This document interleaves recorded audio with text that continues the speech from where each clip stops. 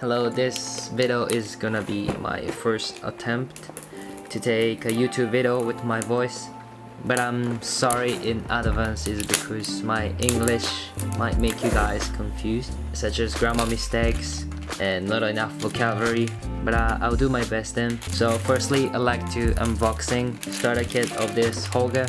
Later I'm gonna go somewhere to take photos with Holga so I hope you guys can enjoy my video today. So in the next, I like to take a look at all this starter kit a little bit more and also the camera itself. Then I'm gonna explain as much as I can. I got this one while I um, was browsing like kind of Facebook marketplace in my country. Not exactly the same one though. And the price of this one was less than $20 and quite nice. At the times I didn't know that this is known for cheapest medium format and also had not been opened yet by anyone else when I got this one so. At the times like I felt maybe I shouldn't open it but it's too late. I opened it already then. Okay anyways this is camera itself. Yeah I can tell that uh, this is cheapest. And also the weight is like maybe lighter than my iPhone so yeah anyways. Firstly like you guys can change the color of flashlights from here. It has full and like normal one red yellow and then blue. They're nice and they're cute too. And the bottom are you like a place to attach tripod? And then those B and N I have no idea about them. Sorry about it. And also like there is a small sun on here. Guess you're gonna take photo in sunny day it's better to set up like this. If not like there's cloudy and if you need flashlight like this. And also like depend on the things that you like to take photo with in change. And also this is for landscape. I'm kinda sure this is just for a flashlights I guess. When we load a film we need slide this down both sides. And open it. And the inside is pretty simple. Yeah. Oh and I have this one. This for it says 16 yeah. You're gonna take photo with like four five six. You just switch the attachment with 6 by 7 but I'm gonna keep it 6 by 7 and those places for batteries. You just need two and slide it out. And if you put you're gonna take photo with 6 by 7 we just need to change here. And if not like you're gonna take photo with 4 5 6 just slide it out. And those are the main structure of this camera I guess. And the finder. Mm, can see. And the next small box.